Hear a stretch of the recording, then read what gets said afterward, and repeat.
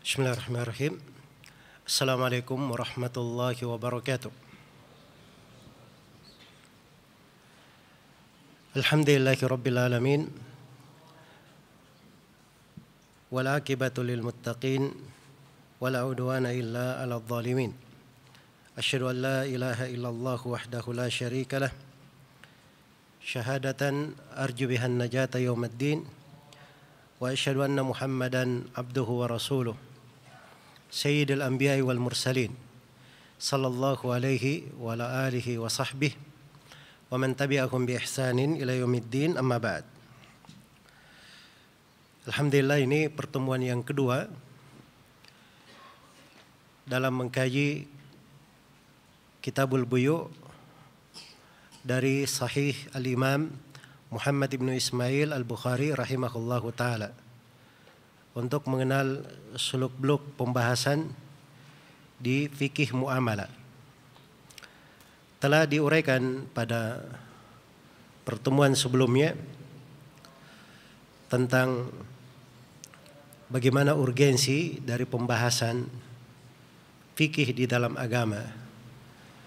Karena di dalam muamalah-muamalah yang seperti ini saja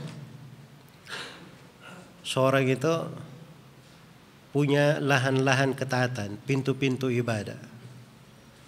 Karena kapan dia melakukan transaksi di atas hal yang dicintai dan diridhai oleh Allah Subhanahu wa taala, maka itu artinya dia masuk di dalam pintu ketaatan.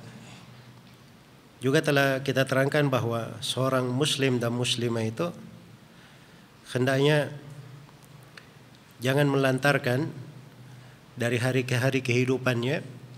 Kadang kita beraktivitas, bertransaksi, kita anggap itu hal yang biasa dan itu lumrah di tengah manusia.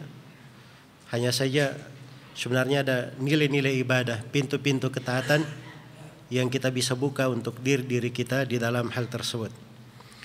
Pada pertemuan yang telah lalu saya telah memberikan beberapa pendahuluan uh, seputar pembahasan fikih. Kemudian saya juga berikan sebuah kaidah peta di dalam memahami fikih muamalah. Kemudian juga kita uraikan biografi dari sedikit dari biografi Al-Imam Muhammad bin Ismail Al-Bukhari yang populer di tengah kita dengan sebutan Imam Al-Bukhari. Dalam kitab sahihnya ini kita telah uraikan beberapa hal dari uh, hidup beliau rahimahullahu taala. Baik, kita akan memasuki pada pertemuan yang kedua ini kita akan memasuki pendalilan beliau terhadap pembahasan jual beli dalam uh, cakupan umumnya. Jadi di dalam kitab Al-Buyu ini Al-Bukhari rahimahullahu taala setelah menyebut kitabul buyu beliau sebutkan dua ayat. Setelah menyebutkan dua ayat baru beliau merinci bab-bab pembahasan di dalam kitabul buyu ini. Iya. Dan ini metode yang ditempuh oleh Al-Bukhari rahimahullahu taala di sini suatu metode yang sangat indah sekali di dalam meringkas pembahasan tentang jual beli, tentang muamalah itu kepada siapa yang mempelajari buku beliau ini. Baik kata beliau rahimahullahu taala kitabul buyu wa qaulillahi ta'ala wa ahallallahu al-bai'a wa harrama riba wa qawlihi illa an takuna tijaratan hadiratan tudirunaha bainakum Baik ini dua ayat ya disebut oleh Al-Bukhari setelah pembahasan Kitabul Buyu. Telah kita uraikan pada pertemuan yang telah lalu, Kitabul Buyu itu Al-Buyu jama dari Al-Bay. Jama dari jual beli. Dan di sini dijamak karena bentuk transaksi jual beli itu banyak. Bentuk transaksi jual beli itu banyak. Dan telah kita terangkan juga bahwa kata al-bay dalam penggunaan bahasa Arab itu punya dua makna yang sebenarnya berlawanan tapi dua makna itu digunakan. Sebab al-bay bisa bermakna membeli dan al-bay bisa bermakna menjual. Bisa bermakna menjual. Iya. Kemudian di sini Al-Bukhari rahimahullah menjelaskan dalil tentang halalnya jual beli. Tentang halalnya jual beli.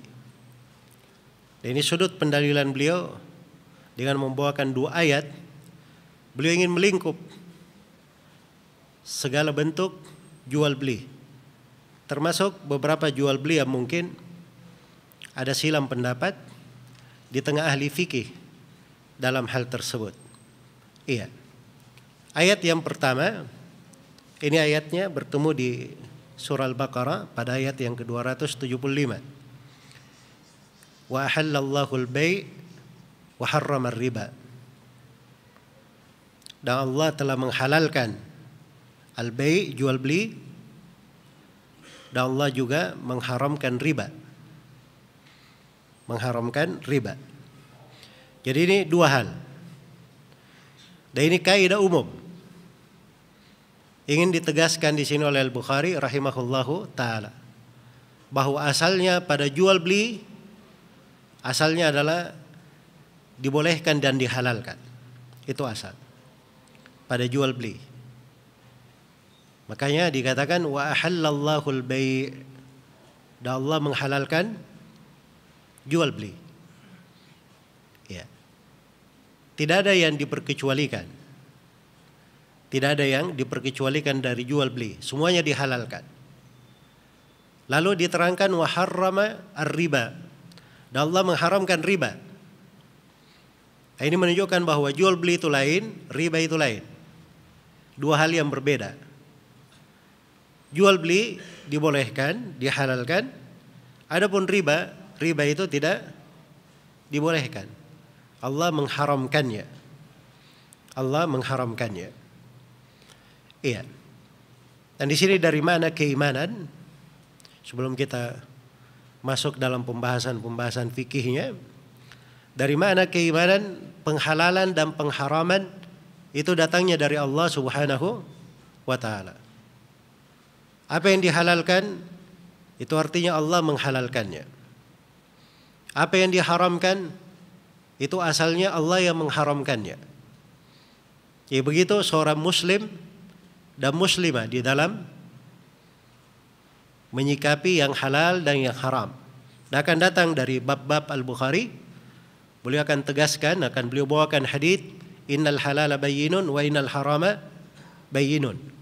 Sungguh yang halal itu jelas, yang haram itu jelas. Wa bainahuma umurun mustabihat Antara keduanya itu perkara yang syubhat. Samar-samar.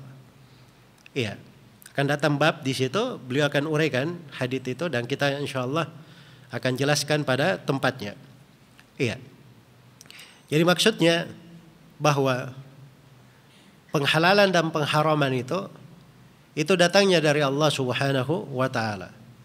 Dan ini kalau diimani oleh seorang mukmin dan mukminah itu akan mudah dia menerima pembahasan-pembahasan tentang apa?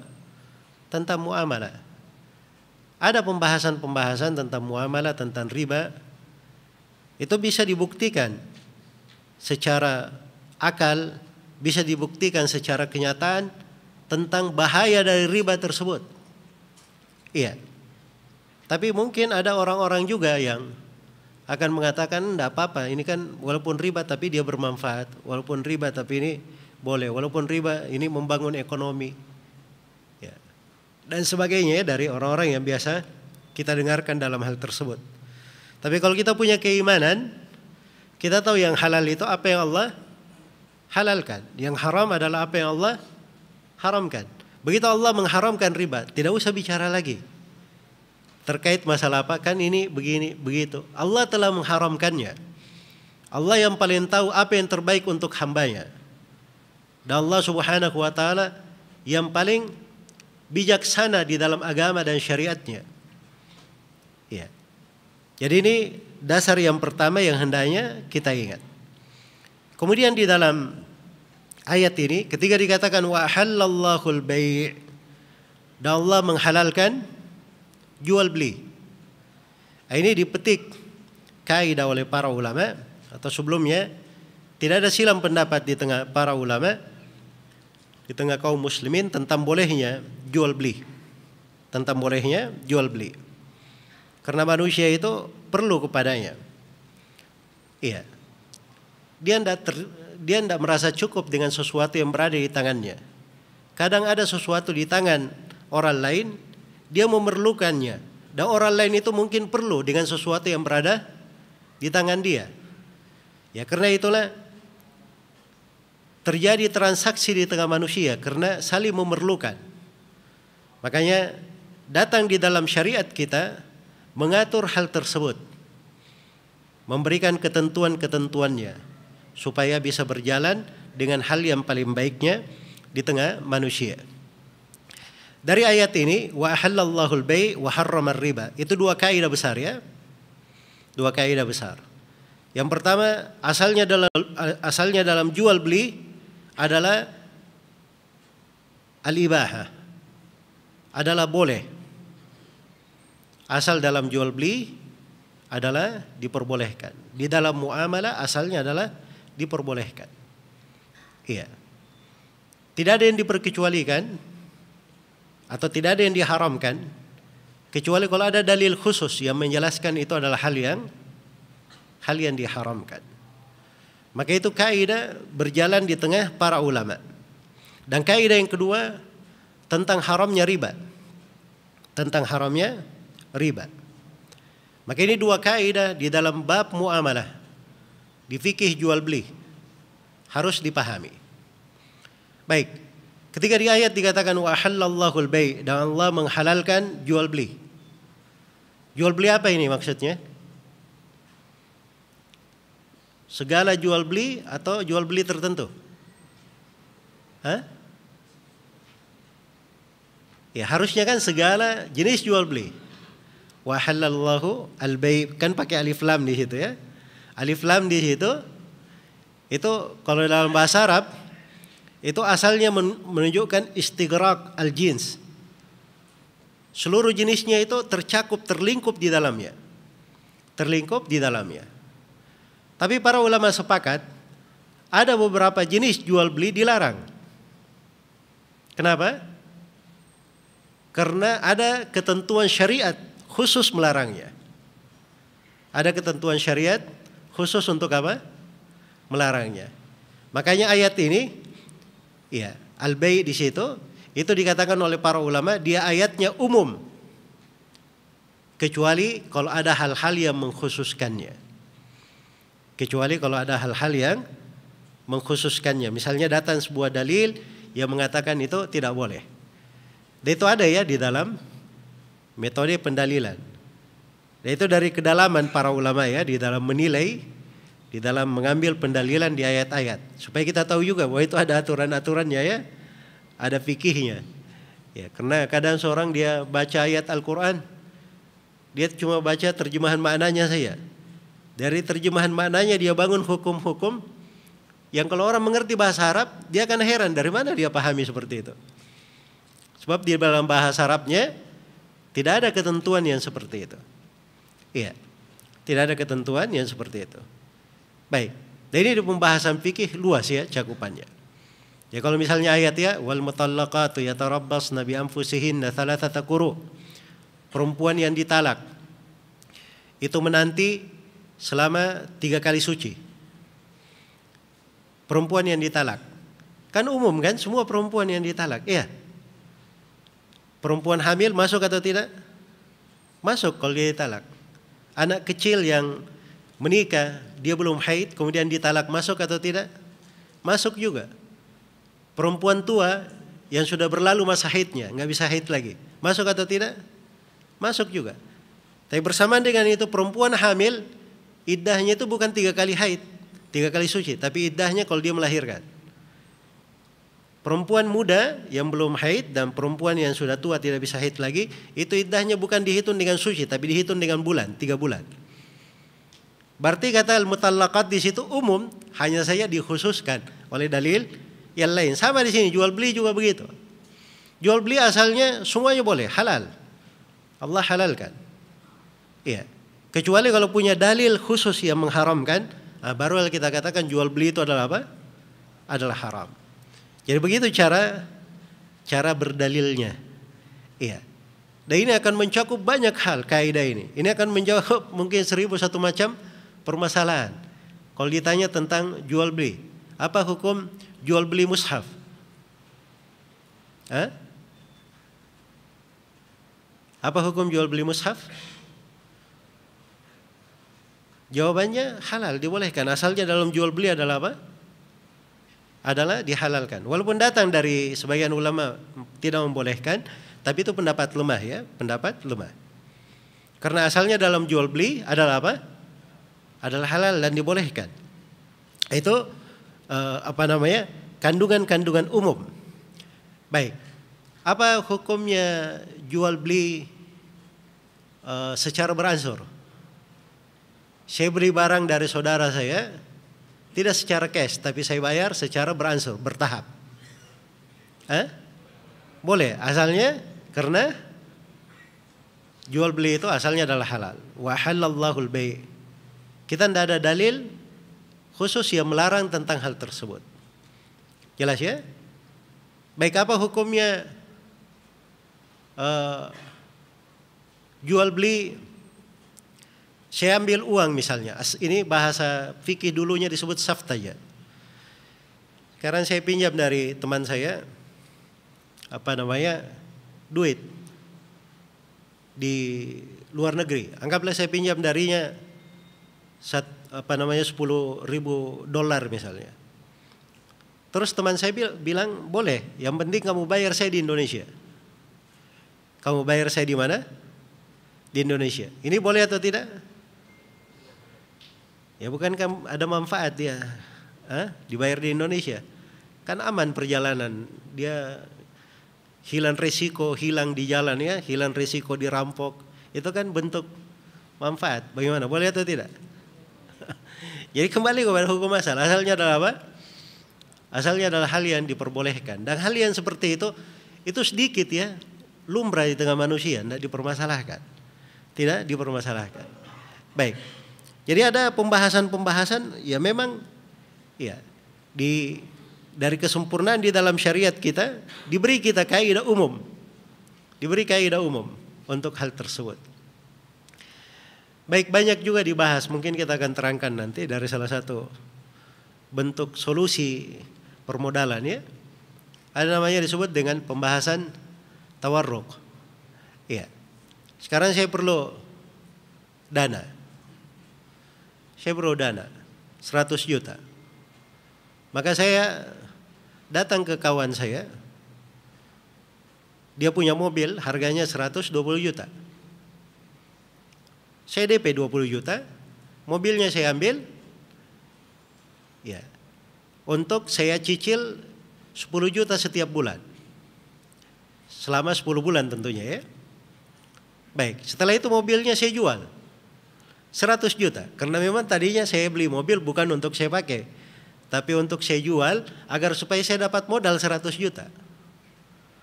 Boleh atau tidak? Nah ini kalau dia jual ke pihak ketiga, asalnya diperbolehkan, tidak ada hal yang melarang. Yang masalah itu kalau saya jual ke orang itu lagi. Itu yang masalah. Ya, saya beli dari dia 120, eh, saya cicil, sudah DP 20, kemudian saya cicil. Ya. Saya cicil berapa? Selama 10 bulan, 10 juta. Dia tahu bahwa saya ini tidak perlu mobil itu. Dia tahu bahwa saya perlu duit. Setelah terjadi transaksi dia bilang ke saya, itu mobil saya beli lagi 100 juta. Nah, ini yang tidak diperbolehkan karena antara dua belah pihak. Nah, ini yang disebut dengan pembahasan apa? Al-inah namanya. Memang agak detail ya, beda-beda tipis ya. Ini cuma jual di pihak tiga ini ini satunya haram, satunya apa? Satunya halal. Ya, diperbolehkan. Bedanya tipis. Baik.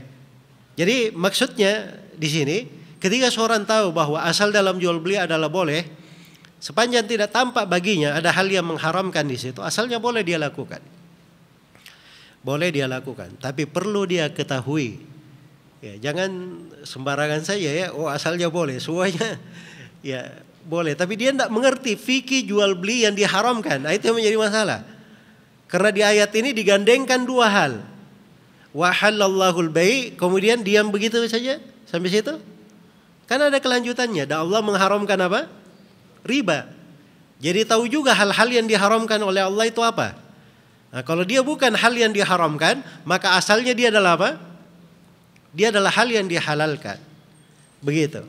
Tapi kalau kita tidak pernah belajar tentang fikih jual beli yang diharamkan itu apa? Ya. Tiba-tiba segala sesuatu kita anggap halal saja asalnya jual beli halal, ya maka mungkin kita akan jatuh di dalam pelanggaran-pelanggaran tanpa kita sadari. Baik. Jadi ini kaidah ya di dalam jual beli. Bahwa asalnya pada jual beli itu adalah halal kecuali kalau ada dalil yang apa? Ada dalil yang mengharamkan. Berikutnya, waharrama ar-riba. Ini kaidah yang kedua.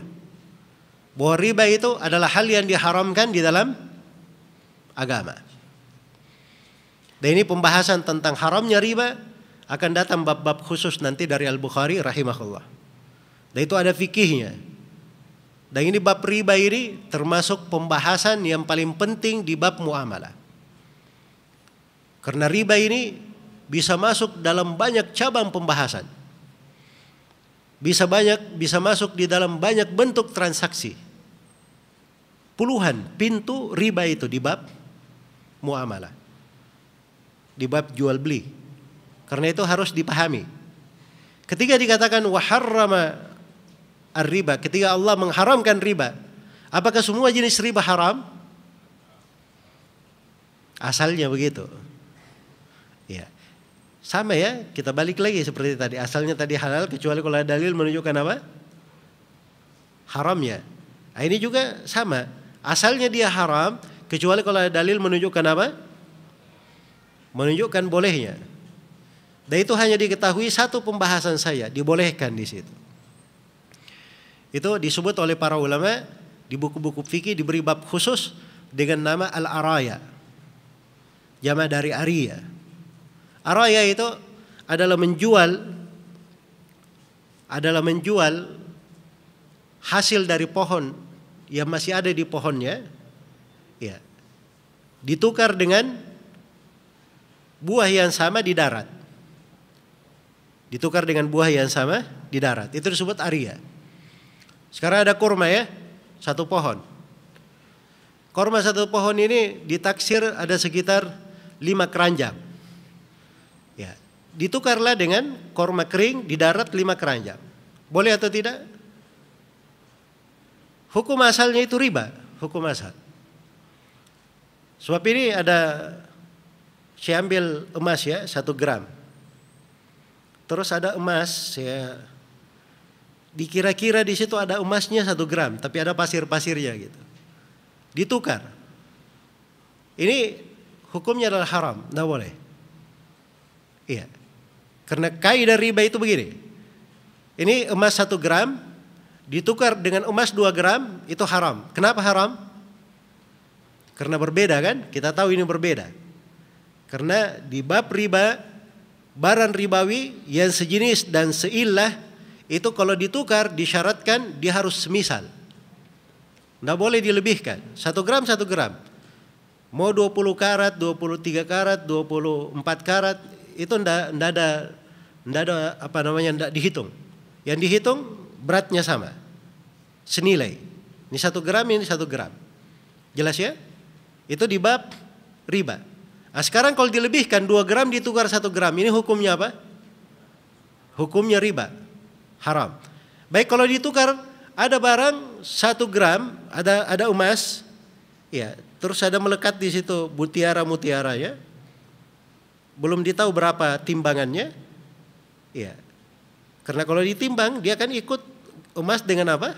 Mutiara kan? Nah, terus ada emas 1 gram, ditukar boleh atau tidak? Ini juga tidak boleh diharamkan. Kenapa? Karena tidak diketahui emasnya di sini. Jadi ukuran samanya belum dipastikan. Ukuran samanya belum dipastikan.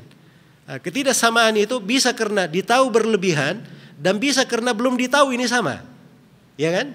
Belum diketahui itu sama. Karena itu ada kaidahnya di pembahasan riba namanya al-jahlu bit tasawi kal ilmi bit. Orang tidak tahu dua jenis ribawi ini sama, itu sama hukumnya haram riba dengan barang yang diketahui dilebihkan. Itu sama. Nah, sekarang kalau kita terapkan di pembahasan Arya, korma di pohon ini ditaksir dengan korma di darat, sama, sama-sama korma. Ini sama atau tidak? Hah? Nah bisa dipastikan sama kan begitu. Taksir itu ya namanya dikira-kira ya. Walaupun ada orang yang jago menaksir ya itu keahlian. Tapi memastikan sama tidak bisa. Nah, itu namanya kita tidak tahu kesamaan. Nah, ini asalnya kan riba. Tapi oleh Nabi dibolehkan. Khusus di pembahasan ini. Di Arya. Kenapa dibolehkan? Karena manusia perlu dalam hal itu. Ada hajat. Kepentingan. Sebab kalau misalnya orang yang punya simpanan korma di rumahnya, mau tuh mau datang musim panas, dia perlu korma segar, ya dia tidak punya, itu kan membahayakannya, membahayakannya. Jadi berat di tengah manusia. Makanya diberi keringanan oleh Nabi Shallallahu Alaihi Wasallam, tapi keringanan itu disyaratkan beberapa syarat di dalamnya.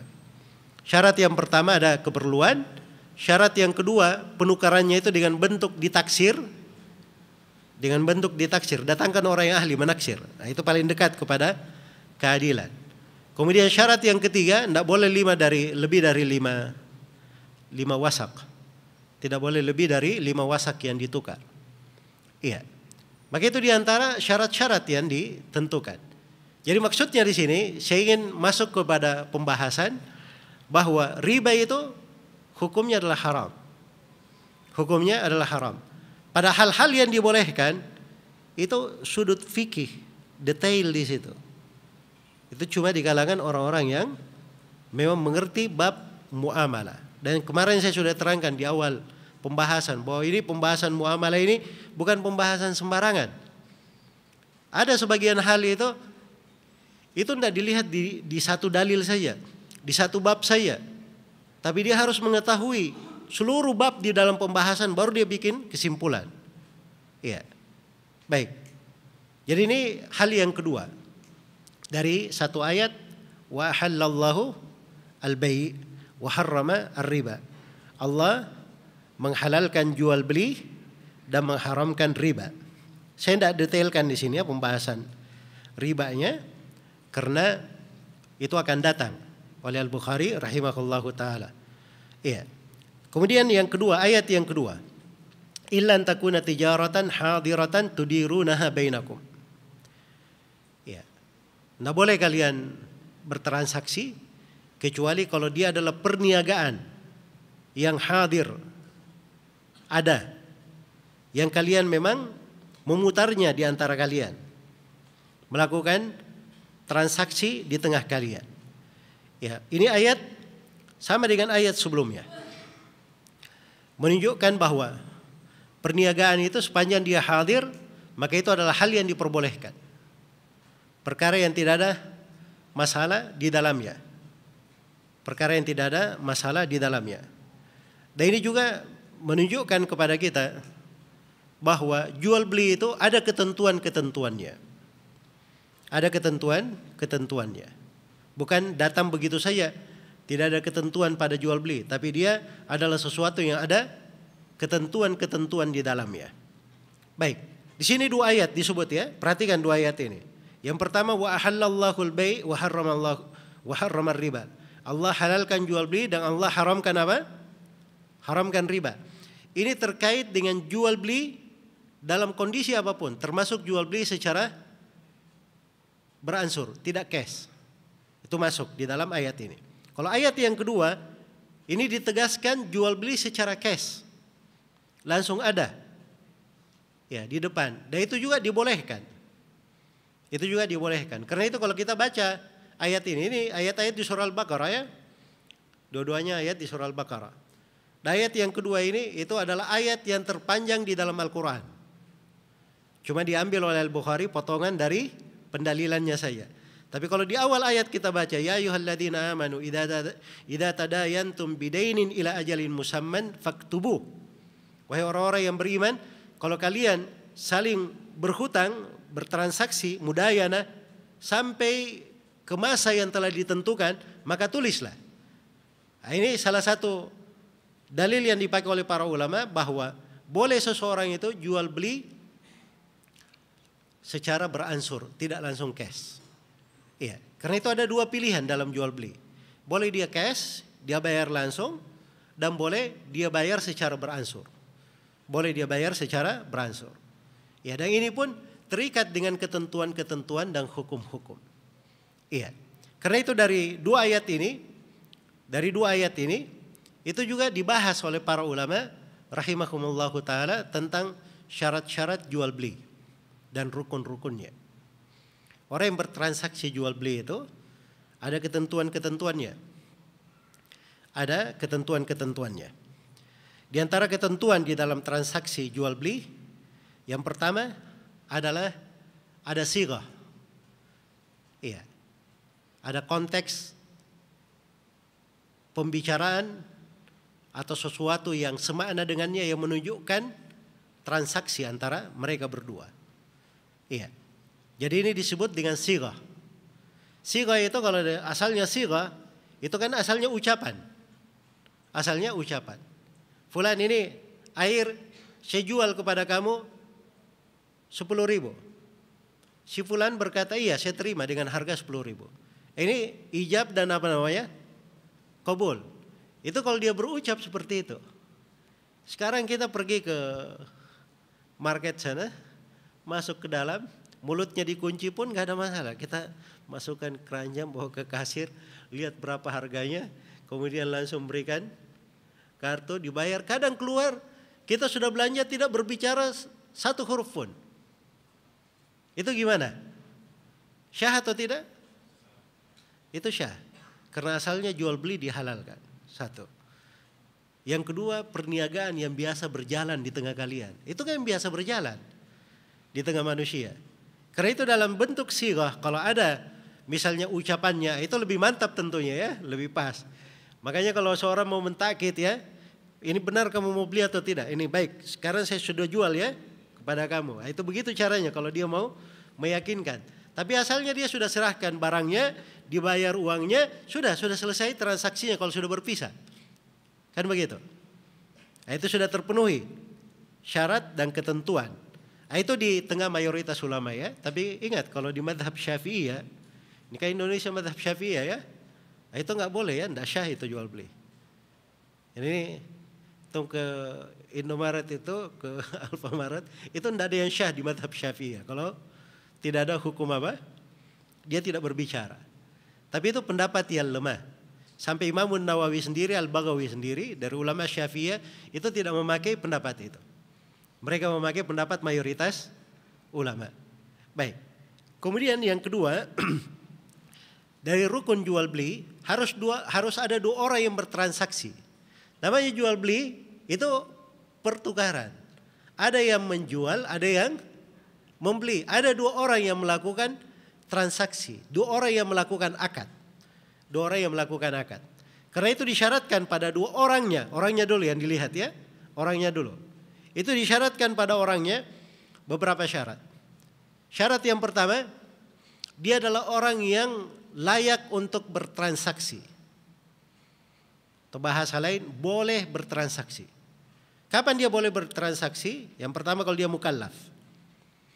Dia seorang yang balik, akil. Iya, sebab kalau anak kecil itu tidak boleh bertransaksi anak kecil. Anak kecil pergi beli rumah, gimana caranya? Tidak boleh anak kecil bertransaksi. Tapi kalau anak kecil ke apa dia transaksi pada hal yang sedikit dan dia paham di situ, Nah, itu nggak ada masalah ya, dibolehkan oleh para ulama. Contohnya dia ke ke toko beli permen, ya penjualnya bilang ini harganya sepuluh ribu, anak kecil itu bisa nawar mahal banget di sebelahnya cuma 100 perak katanya. Jelas ya? Nah, itu kan dia paham. Tapi kalau anak kecil transaksi rumah, transaksi mobil, transaksi itu enggak bisa. Harus disyaratkan dia dewasa. Balik. Terus yang kedua akil. Orang yang tidak waras itu tidak boleh bertransaksi. Ya jangan sampai ada, wah ini saya sudah beli rumah. Dari mana? Si Fulan tidak waras. Kan ada tanda tangannya. Iya dia tanda tangan tidak waras. Gimana caranya? Ya. Karena transaksi itu disyaratkan dia punya maksud, dia punya ridho, keridhaan akan hal tersebut. Ini semuanya tidak mungkin tergambar hadir pada orang yang memang tidak waras. Akalnya tidak hadir. Baik.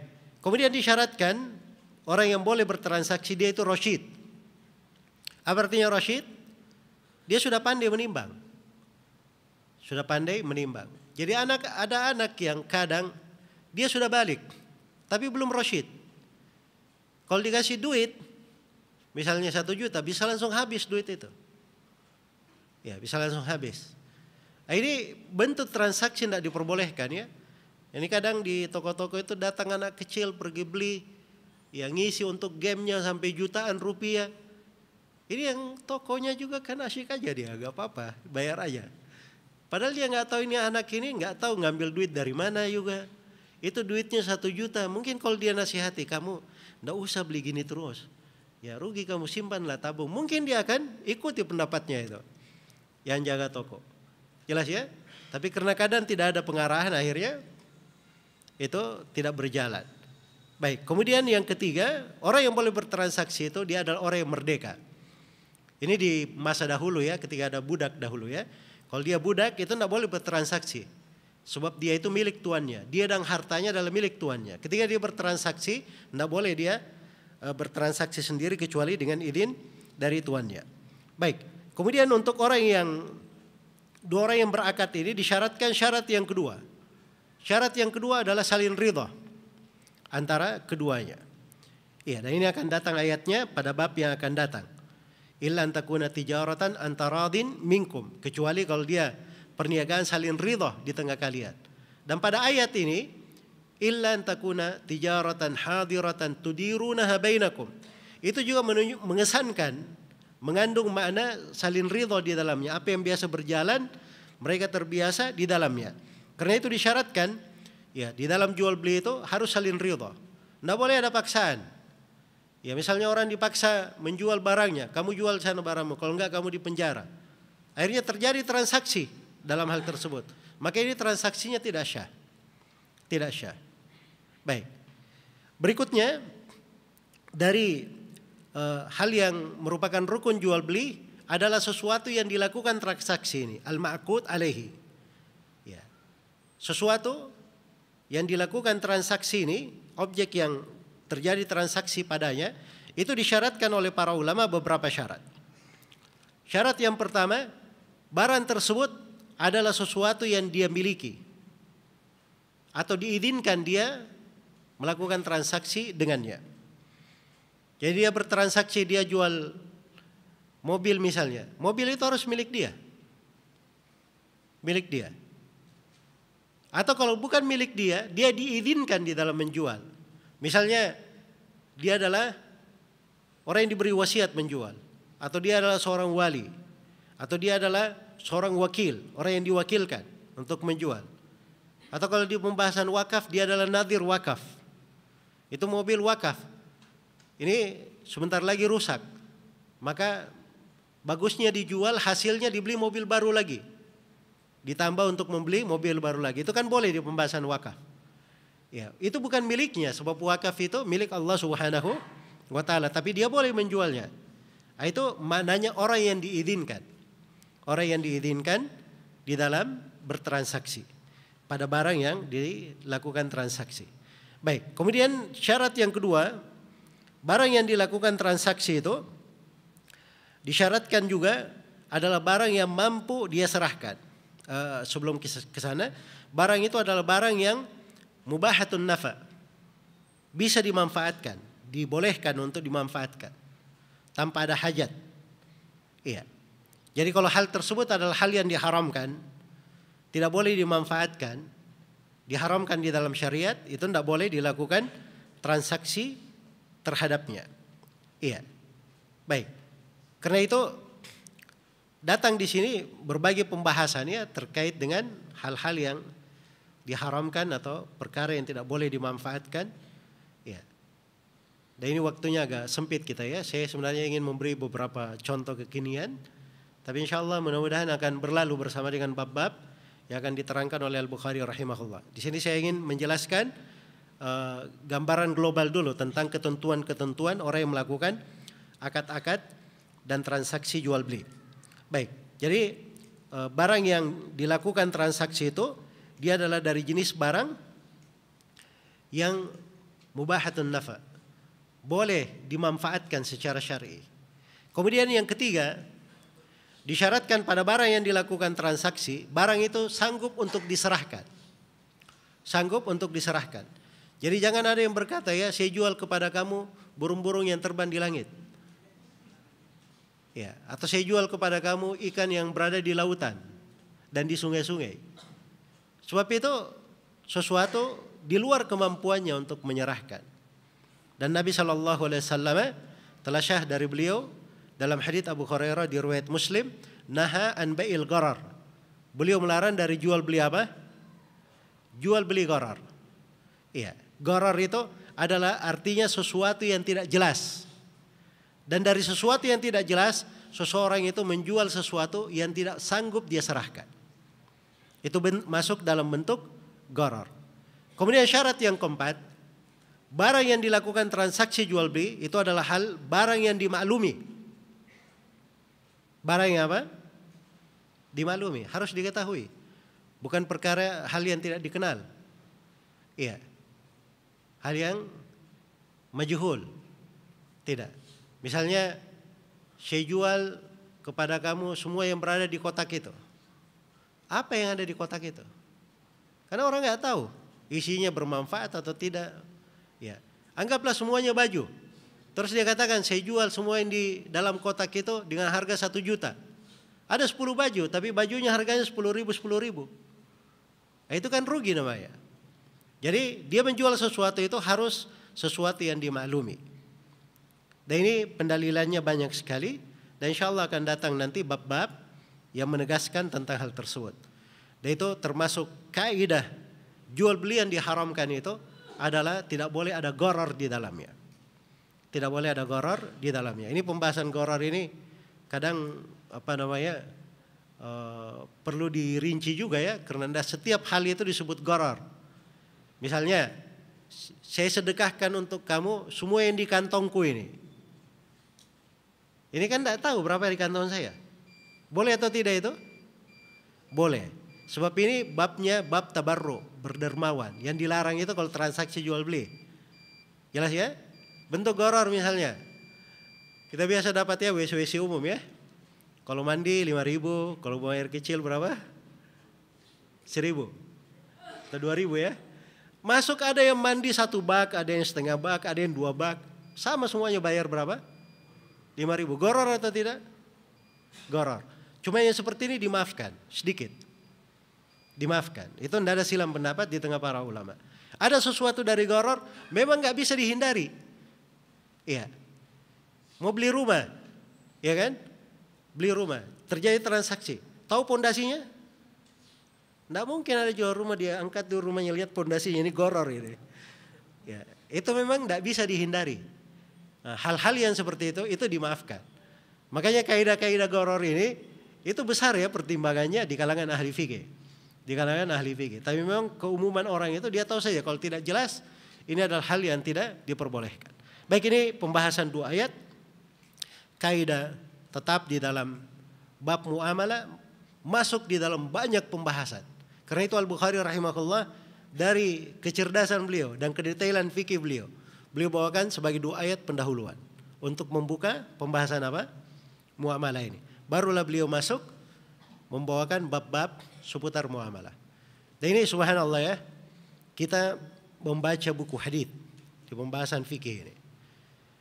Keberkahan dalam hidup itu mendengarkan hadis-hadis Rasulullah sallallahu alaihi wasallam. Hadis Rasulullah itu sekadar dibacakan saya, sekadar dibacakan, kemudian antum pahami maknanya, itu adalah keberkahan di dalam hidup, membawa banyak kebaikan,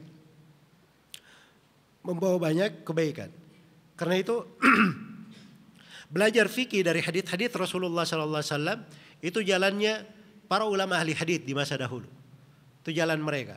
Karena selain daripada menjaga hadis Rasulullah, mengagungkan Nabi Shallallahu Alaihi Wasallam, setiap kali nama Nabi Shallallahu Alaihi Wasallam disebutkan kita semua apa? Berselawat kepada Nabi Shallallahu Alaihi Wasallam. Maka itu dari kebaikan-kebaikan.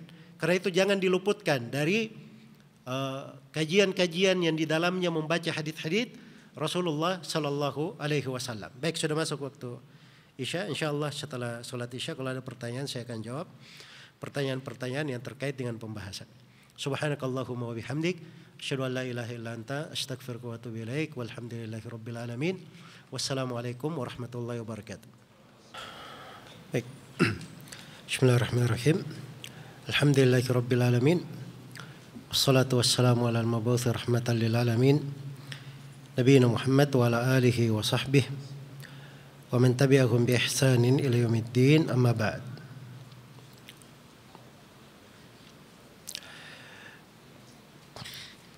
Baik ini ada satu hadith ya saya ingin bacakan sebab ini kadang uh, di dalam apa namanya uh, kegiatan sehari-hari di sholat lima waktu kadang selepas sholat kita melakukan sholat sunnah. Uh, saya lihat pada sebagian kawan-kawan itu kadang masuk ke dalam tahapan agak takalluf ya terlalu membebani diri. Makanya saya ingin menjelaskan sedikit terkait dengan hal itu.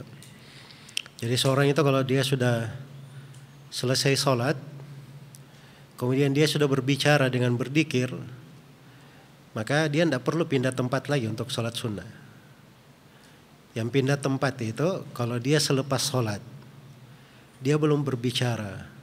Nah ini disyariatkan untuk bergeser supaya jangan kayak menyambung dua solat itu bentuk larangannya jadi haditsnya itu di Sahih Muslim di akhir Kitabul Juma dari Sahih Muslim tentang Muawiyah radhiyallahu taala anhu. Ya. Ada orang yang sholat Jumat begitu dia salam langsung dia berdiri di tempat berdirinya. Begitu imam salam dia langsung berdiri tempat berdirinya. Lalu orang ini sholat. Nah, itu kejadiannya ya. Maka Muawiyah pun kirim pesan kepada orang tersebut, la ta'ud lima fa'alta. Jangan kamu kembali mengulangi hal tersebut. Idza shallaital jum'a fala tasilha bi salatin hatta tatakallam au takhruj. Kata beliau, apabila kamu sudah sholat Jumat, maka jangan kamu sambung sholat Jumat itu dengan sebuah sholat lain jadi selepas sholat Jumat langsung disambung dengan sholat. Jelas ya? Langsung disambung dengan sholat.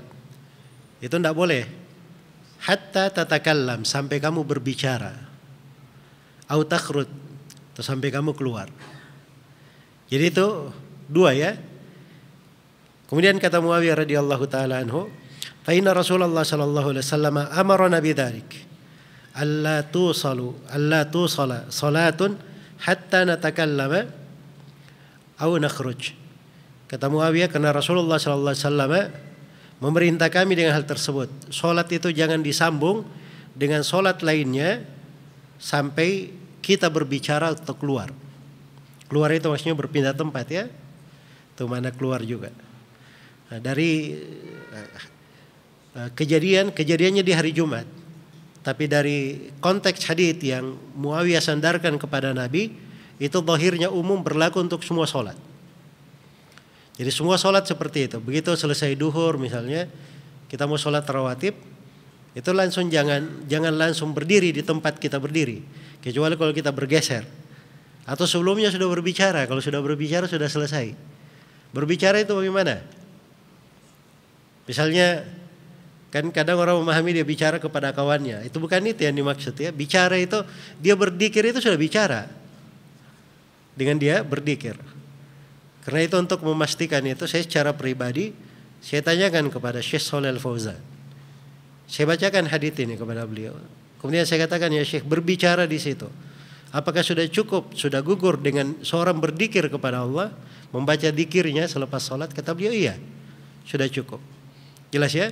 Jadi maksudnya ini fikih perlu uh, apa namanya diperhatikan juga ya karena kadang sebagian kawan-kawan lama dia menunggu hanya sekedar mau pindah sama tempatnya bergantian. Itu saya pandang bentuk dari agak membebani diri ya padahal diberikan keluasan di dalam syariat kita ini wallahu taala alam. Baik. Di Di sini ada yang bertanya tentang hukum asuransi pada jual beli online yang nominalnya hanya ratusan rupiah karena beberapa penjual mewajibkannya sehingga barang yang ingin kita beli tidak bisa diproses.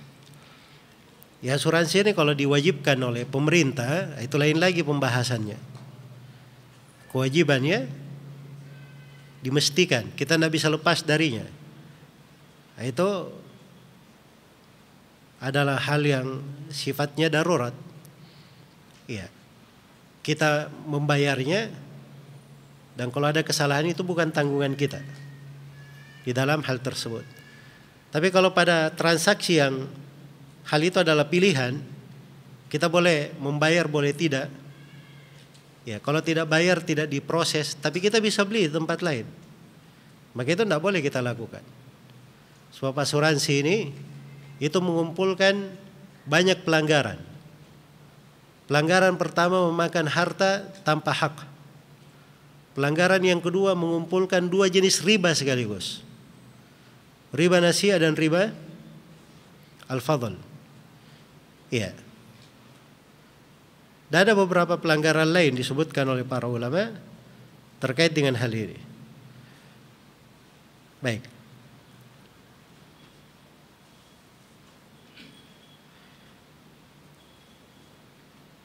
Mohon penjelasan tentang hadis larangan menjual barang yang belum kita miliki. Contoh saya penjual HP mengiklankan produk kepada konsumen hingga terjadi akad DP namun HP tersebut masih milik supplier, belum Anda miliki. Apakah transaksi yang Anda lakukan mengandung keharaman? Kalau begini bentuknya iya. Ini namanya menjual barang yang belum dia miliki. Barangnya jadi supplier. Jelas ya? Ada di sana. Ada orang yang mau beli, dia datang bayar dulu, DP dulu, kemudian dia pergi ambil barang itu, kemudian dia serahkan. Nah, itu tidak benar ya. Karena dia menjual sesuatu yang bukan miliknya. Iya, solusinya ada dua. Satu, dia jangan bikin akad jual beli. Dia bilang itu HP ada di saya bisa datangkan dengan harga misalnya satu juta, tapi saya minta fee seratus ribu untuk mendatangkannya. Maka ini boleh. Dia di sini sebagai wakil namanya. Dan wakala itu boleh dengan dibayar. Solusi yang kedua, dia menjadi wakil supplier tersebut. Diambil akad wakala bahwa dia wakilnya, maka barang itu walaupun tidak ada di toko kita, ada di toko supplier, itu nggak ada masalah. Sebab kita adalah wakilnya. Wakil itu boleh bertindak sama seperti pemilik. Jelas ya? Sama seperti pemilik. Iya. Yang ketiga, solusi yang ketiga, dia bayar HP itu dulu, baru dia lakukan transaksi. Nah, itu baru benar ya. Tapi kalau yang pertama tadi HP milik orang, dia tidak ada hubungan apa-apa, kemudian tiba-tiba datang membeli, sudah akad jual beli, ini nggak boleh. Dia sudah akad pada sesuatu yang belum dia miliki. Baik. Ini jawaban sesuai dengan konteks pertanyaan ya. Saya biasanya jawab sesuai dengan konteks pertanyaan. Kalau pertanyaannya berbeda, kadang beda juga jawabannya. Sebab sesuatu itu kadang ada yang uh, apa namanya sudah jadi barangnya.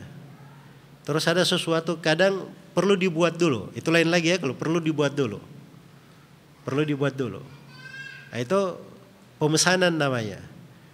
Nah, itu kalau kita jual itu bukan akad menjual barang yang belum kita miliki. Sebab ini barang memang perlu dibuat. Nah, itu ada akad namanya alat dimba, akad di atas tanggung jawab. Nah, itu dibolehkan ya. Ya bentuknya beda-beda. Wallahu taala alam.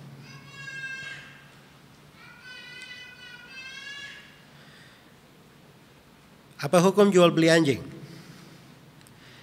Ya itu ada pendalilannya tentang keharamannya di dalam hal tersebut. Iya. Karena telah syah dari Nabi Shallallahu Alaihi Wasallam mengharamkan harganya. Tapi terkait dengan anjing yang terlatih, itu ada silam pendapat di tengah para ulama. Ya kalau seorang mau aman dia jangan masuk dalam hal yang terkait dengan ada silam pendapat kemudian itu lebih cenderung kepada hal yang diharamkan. Apa hukum jual beli kucing? Jual beli kucing ada di dalam hadis Abu Hurairah riwayat Muslim. Nabi Shallallahu Alaihi Wasallam melarang dari jual beli kucing. Tapi mayoritas ulama membolehkan karena di dalam hadis Abu Qatadah Nabi Shallallahu Alaihi Wasallam menyebutkan tentang kucing, Inna minat tawafin alaikum. Bahwa kucing itu dari hewan yang biasa berada di sekitar kalian berada di sekitar kalian. Maksudnya sekitar kalian itu biasa kita berhubungan dengannya, transaksi juga. Itu hal yang biasa. Jelas ya? Jadi ini dua hadis kadang sebagian ulama mengambil jalur pertengahan bahwa kucing yang dilarang itu itu kucing liar. Adapun kalau kucing peliharaan itu dibolehkan. Itu dibolehkan. Ya wallahu taala alam.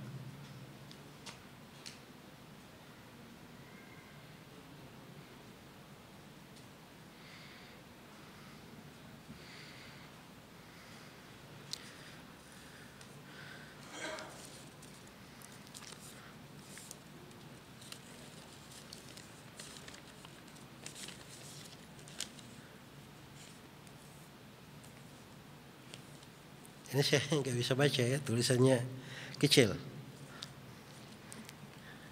Kecil dan rumit fontnya itu membacanya nggak bisa saya.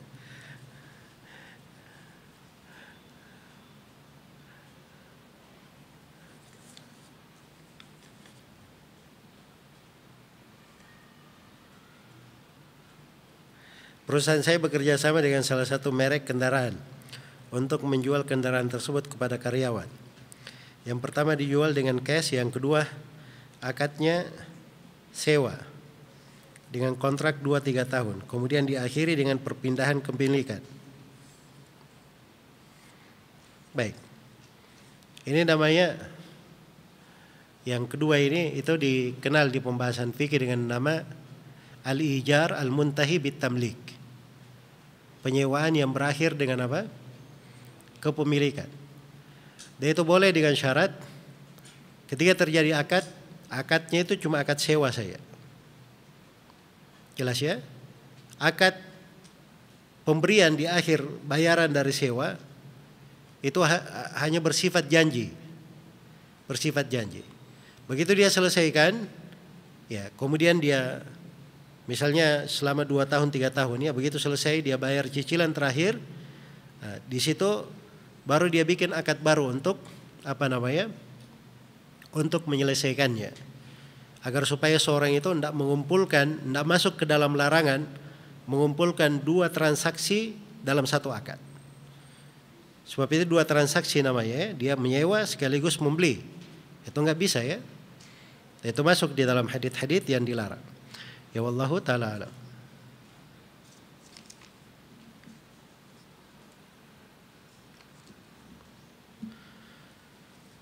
Bagaimana hukum melebihkan pembayaran hutang kepada teman sebagai hadiah? Justru itu bagus ya, itu yang dipuji oleh Nabi Shallallahu Alaihi Wasallam. Diriwayatkan oleh Imam Al Bukhari dari hadits Jabir bin Abdullah radhiyallahu anhu, Rasulullah Shallallahu Alaihi Wasallam bersabda, rahimallahu mra'an samhan idza ba'a wa samhan idza ishtara wa samhan idza Allah merahmati seorang hamba dia itu dermawan ketika menjual. Dermawan ketika membeli. Tim jual orang biasanya jual 10 ribu, dia jual 9.500. Ada yang nawar 9.000 dia kasih. Misalnya ya contoh. Ya. Atau dia membeli misalnya. Membeli harganya 12 ribu. Dia tahu kalau dia tawar bisa dapat 10 ribu. Tapi dia bayar saja 12 ribu. Itu Allah rahmati hamba yang seperti itu. Itu dua ya. Yang ketiga, wasamhan idak tala. Dan Allah merahmati seorang hamba pemurah kalau dia melunasi hutangnya. Melunasi hutangnya. Dia berutang sejuta. Begitu dia kembalikan, dia kembalikan sejuta lima ratus. Lima ratus itu nggak ada masalah sepanjang tidak ada perjanjian sebelumnya. Kalau ada perjanjian sebelumnya itu riba namanya. Itu riba. Tapi begitu kita tidak ada perjanjian, kita kembalikan hutang itu, kita lebihkan dari keinginan kita sendiri. Ah, itu yang dipuji oleh Nabi Shallallahu Alaihi Wasallam. Dan itu dari sebab seorang hamba itu dirahmati oleh Allah Subhanahu wa taala. Baik. Ini pertanyaan terakhir ya. Mohon dijelaskan tentang hadis di mana Rasulullah sallallahu alaihi wasallam membeli kuda sahabat dengan harga murah karena kuda tersebut sudah lemah. Wah ini panjangnya dan hadisnya akan datang sebentar lagi di Sahih Al Bukhari. Itu hadis tentang Jabir ya dalam peperangan kudanya sudah lemah begitu mau ditinggal saja. Maka kata Nabi Shallallahu Alaihi Wasallam ada apa dengan kudamu? Iya, dipukul kuda itu pun bisa berjalan dengan cepat. Maka Nabi berkata, jual kepada aku. Ya, dijual. Akhirnya dijual ya. Tadi ya Jabir nggak mau jual, tapi akhirnya dijual kepada Nabi Sallallahu Alaihi Wasallam. Dan Jabir mempersyaratkan agar supaya dia jual setelah dia diangkut ke kota Medina. Begitu tiba di kota Medina, maka Nabi Sallallahu Alaihi Wasallam memberi harganya. Iya. Jabir pun keluar. Setelah dia pergi, maka dipanggil lagi Jabir. Kemudian dikatakan, apakah engkau apa namanya menyangka bahwa saya akan membeli kudamu. Begitu saja ya ambil ini kudamu dan ambillah uang tersebut. Jadi itu sebenarnya dari Nabi Shallallahu Alaihi Wasallam ingin diberi hadiah kepada siapa? Kepada Jabir radhiyallahu taala anhu. Tapi dari sudut akad transaksi itu boleh ya menawar itu boleh saja. Menawar boleh saja. Iya. Ini juga Nabi sendiri bertransaksi menunjukkan bolehnya ya. Ya seorang kedudukannya seperti beliau sallallahu alaihi wasallam. Nabi itu Nabi Muhammad sallallahu alaihi wasallam sebagai rasul. Nabi itu kekhususan tidak ada yang semisal dengan beliau. Tapi beliau juga kepala negara. Beliau juga hakim pengadilan qadhi. Tapi melakukan transaksi sendiri itu dibolehkan sepanjang pada batas yang lumrah. Ya tidak menyebabkan dia berlaku apa? Berlaku tidak adil atau hatinya condong. Kadang begitu ya hakim-hakim misalnya kodi di pengadilan kalau datang wah ini Pak Kodi ini kasih murah-murah aja dia. Nah, begitu dia ada kasus diringankan misalnya. Nah, itu tidak boleh ya itu merubah hati namanya. Makanya kadang sebagian ulama itu menghindari hal-hal yang seperti itu. Baik wallahu taala alam. Semoga apa yang kita dengarkan di kajian malam ini bermanfaat untuk semuanya dan saya mohon maaf atas segala macam kekurangan. Subhanakallahumma wa bihamdik Asyhadu an la ilaha illa anta astaghfiruka wa atubu ilaik. Walhamdulillahi rabbil alamin. Wassalamualaikum warahmatullahi wabarakatuh.